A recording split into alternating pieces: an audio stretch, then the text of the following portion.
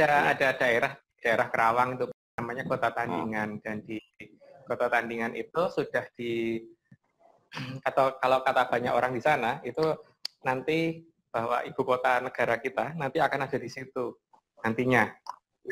Dan itu berarti ada sesuatu yang sudah dipersiapkan dekat sana tapi tidak bisa dilihat orang saat ini gitu. Apa namanya lokasinya sih kalau yang saya perhatikan yang pernah kita datengin atau kita coba ukur perubahan mataharinya itu itu sekitar 3 km dari lokasi itu malahan ya. Jadi di lokasi itu memang ada sesuatu yang agak aneh sih. Kadang-kadang matahari kelihatan bergerak vertikal ke atas di jam-jam tertentu gitu. Saya katakan sebagai wilayah yang, oh berarti ini mungkin kota tandingan yang dimaksud gitu. Karena dengan berjalannya keadaan mungkin saja kan, nama wilayah itu mungkin bergeser pelan-pelan gitu.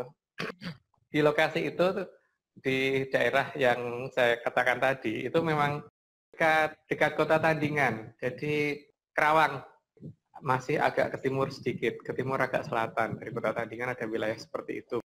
Di sana kadang-kadang kelihatan ada kendaraan mewah masuk, keluar dan tidak bisa di tidak bisa dilacak itu dari mana asalnya gitu.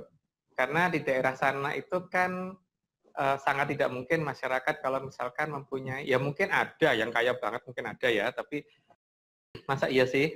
Ada yang sampai mempunyai kendaraan dengan harga yang sekian miliar gitu kayak wilayah seperti itu gitu daerah yang pedesaan pedesaan yang yang sangat kecil wilayahnya di mana jalannya juga masih masih banyak yang baru aja dibangun gitu.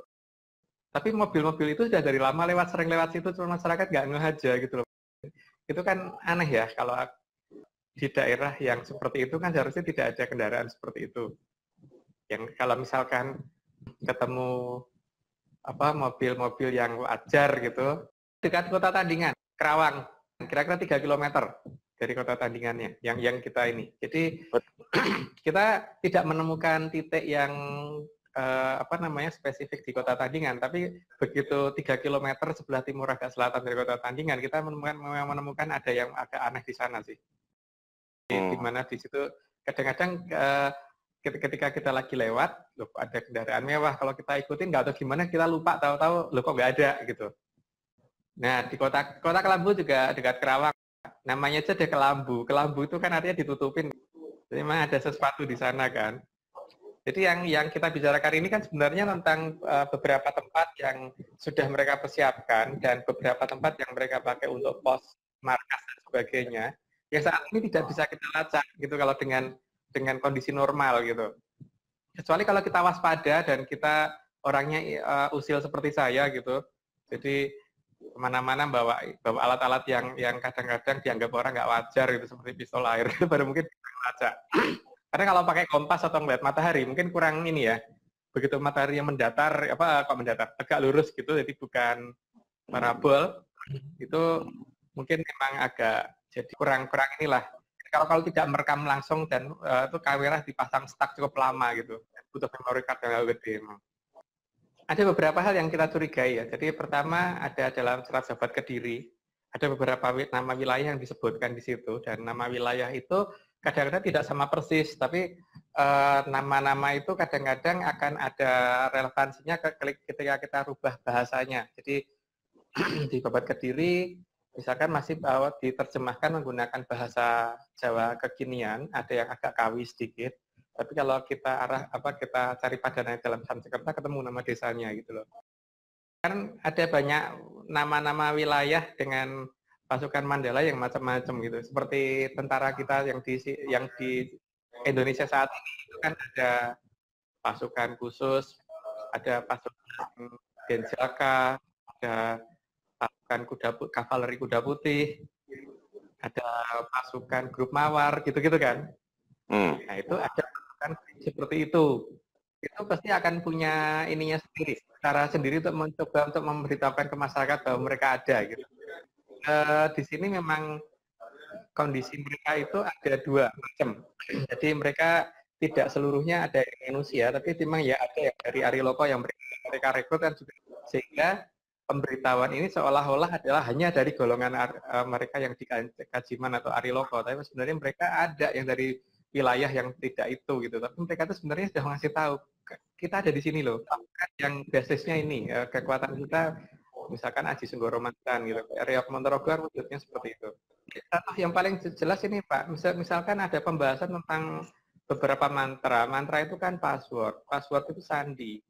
Sandi itu kalau misalkan mungkin bentuk bahasanya tidak mutu, tapi ya itulah sandi gitu loh. Seperti kalau kita punya di komputer, punya komputer gitu, kita bikin password, misalnya passwordnya apa, misalkan kita nasi goreng gitu. Ya memang memang memang apa namanya namanya sandi itu enaknya yang bikin gitu. Jadi bukan bukan kemudian itu harus diarti-artikan tidak, tapi yang terjadi saat ini adalah kebanyakan orang mencoba mengartikan sandi tersebut sampai jadi tidak ada gunanya lagi gitu. Ya seperti misalkan apa namanya Windows gitu. Kalau kalau Windows itu dengan jendela sama artinya gitu, jendela-jendela gitu sama. Tapi kalau misalkan tadinya Windows kita tekannya jendela-jendela ya nggak akan terbuka. Jadi pertama itu ya. Jadi problem pertama itu filsafat itu sangat-sangat menurut saya ya, ya beberapa hal yang saya perhatikan seperti penggunaan pusaka dan sebagainya itu rata-rata terbenturnya satu hal bahwa ada masalah di mana kita itu yang seharusnya sandinya diketahui masyarakat jadi enggak gara-gara filsafat dibelokkan sangat jauh oleh filsafat gitu. Jadi uh, filsafat yang menurut saya paling membelokkan semuanya adalah filsafat. Jadi jangan filsafat kalau mau belajar jauh jangan belajar filsafatnya dulu. Nanti akan jadi makin jauh uh, ada daerah namanya loji. Ada beberapa wilayah dengan nama loji. Loji itu dalam bahasa kita itu artinya dalam bahasa Jawa ya, itu artinya hmm. eh, gedung-gedung uh, yang besar. Nah di daerah hmm. yang dinamakan loji itu rata-rata kenapa malah berupa persamaan rata-rata gitu loh. Kalau tidak dekat perbukitan. Tapi terkadang, terkadang ya, jangan ngomong tiap hari karena di daerah sawah yang seharusnya tidak ada perbukitannya, ya perbukitan agak jauh, tiba-tiba ada bayangan perbukitan gitu, atau ada ada bayangan-bayangan kayak bangunan gitu. Dan ini kadang-kadang teramati, kadang-kadang enggak. Dan tapi masalahnya kan seperti kasus uh, bes pahala kencana, kalau tidak bisa diinterpretasi terus kemudian yang enggak diteritinya dibahas dan tidak boleh dibahas gitu kan. Begitu juga daerah loji itu kalau kelihatan ada bangunan-bangunan tiba-tiba tapi cuma beberapa detik ya dianggap masyarakatnya mengigo gitu kan. Memang ada beneran, cuman masalahnya pas pada saat bocor aja baru kelihatan gitu. Sengaja dibocorkan oleh mereka atau memang sedang ada kesalahan dari yang jaga garis batas gitu kan. Maka karena seringnya terlihat wilayah itu seperti itu, maka kemudian dinamakan loji. Itu tidak tidak tidak cuma di satu tempat yang terdekat dengan tempat saya ada di arah timur Cibubur ada daerah namanya Loji juga. Itu juga seperti itu kasusnya. Kita tungguin dari pagi ketemu malam ketemu pagi kita tunggu sampai sampai mobil kita parkir cukup lama di sana untuk ngamatin pas di tengah sawah ini gitu kan kita rame-rame kan nggak masalah waktu itu sampai akhirnya hmm. satu ketika kelihatan gitu sekitar jam setengah lima pagi hmm. mending pasang kamera apa uh, handycam jadi kalau handycam itu kan terus menerus nyala gitu loh karena kalau jebret kan pada saat jebret itu masih ada apa enggak kan kita enggak ini. Kan itu cuma sebentar sekali. Handycam kan dapat kerekam gitu loh. Memang tidak setiap hari itu loh masalahnya Pak. Kita sedang mencoba mencari durasi waktunya itu loh. Itu gapura. Bantar itu dalam bahasa Sanskerta artinya gapura. Kuning itu kuning. Tapi dalam kebiasaan orang Jawa, kuning itu berarti emas. Berarti ada bantar perlang di sana. Itu gapura sama mobil yang lewat di daerah eh, kota wisata ke timur itu kan seharusnya sudah tidak ada mobil mewah ya. Jadi, mobil mewah itu terakhir kota wisata kan Pak. Karena ya orang yang punya kendaraan seperti itu harusnya levelnya memang kota wisata atau paling enggak legenda wisata gitu kan. Hmm. daerah yang di Cibubur kan itu paling timur ya. Itu legenda hmm. wisata. Bahkan di perumahan sebelah timurnya lagi kan itu sebenarnya nggak nggak nggak ini ya. Kalau kalau Avanza masih mungkin mungkin lah. Atau mungkin Camry itu masih mungkin tapi kalau Range Rover seri 7 gitu udah aneh menurut saya loh. Misalkan kita ada ada pusaka yang kita gunakan gitu. Kan tinggal kita tanya ini daerah kamu dulu pernah dipakai siapa? Dipakai di kerajaan mana? Terus uh, buktinya apa? Kerajaannya di mana? Dan cara ngelihatnya gimana? Dia pasti akan nunjukin. Pusaka ya, apalagi kalau bisa ketemu dengan pemiliknya gitu. Silakan klik tombol subscribe dan aktifkan notifikasi pada tombol lonceng supaya tidak tertinggal video seputar misteri dan pembahasan menarik lainnya dan klik tombol like juga jika sahabat menyukai video ini.